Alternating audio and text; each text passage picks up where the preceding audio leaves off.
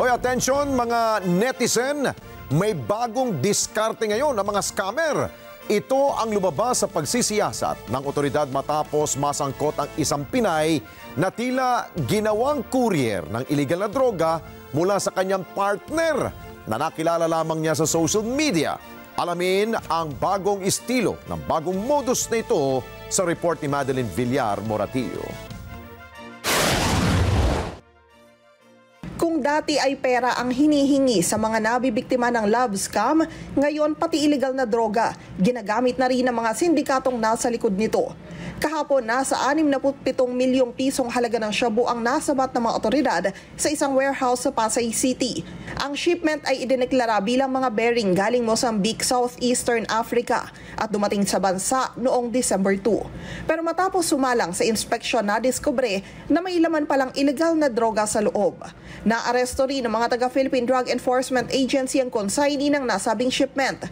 Ayon sa kanya, ang parcel ay para sa kanyang partner na nakilala lang online. Hindi niya alam na ang ipapadala pala ay illegal na droga. Ang masaklap, maharap siya ngayon sa patong-patong na kaso, kabilang ang paglabag sa Republic Act 9165 o ang Anti-Illegal Drugs Act at Customs Modernization and Tariff Act. Ayon sa Cybercrime Investigation and Coordinating Center o CICC, kumpara noong nakaraang taon, mas marami ang love scam ngayon. Dumarami po yung ano eh, yung mga scam hubs natin dito. Uh, we have this working theory in the CICC na uh, during the time of the pandemic, nung bumaba po yung uh, income ng ating mga POGO, mga Philippine Offshore Gaming Operations, uh, some of these uh, turned themselves into scam hubs. Kasi meron na silang facility na convert po siya sa scam hubs. And uh, yun po, uh, doon nanggagaling yung mga text blasts, yung mga nare-receive po natin sa cellphones natin. Paliwanag ni Rojun Hosilios, Direktor ng Cybercrime Division ng CICC, alam kasi ng mga sindikato na vulnerable ang mga Pinoy pagdating sa emosyon. These are being operated by syndicates, by by uh, uh, organized crime groups.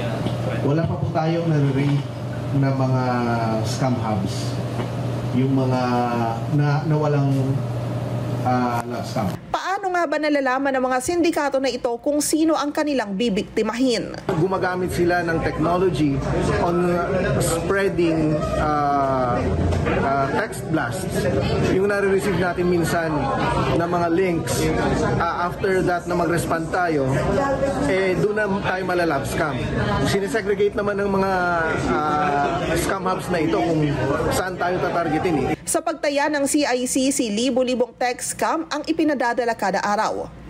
Payo ng mga otoridad para hindi mabiktima maging isnabero online, lalo na kung hindi naman kakilala ang nagpadala ng mensahe.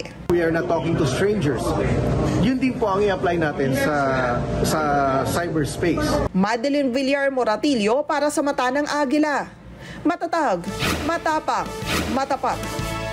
Maraming salamat sa inyo pong pagsubaybay sa Mata ng Agila Primetime. Para malaman ang matatag, matapang at matapat na mga balita, i-follow lamang at mag-subscribe sa AtNet25 TV.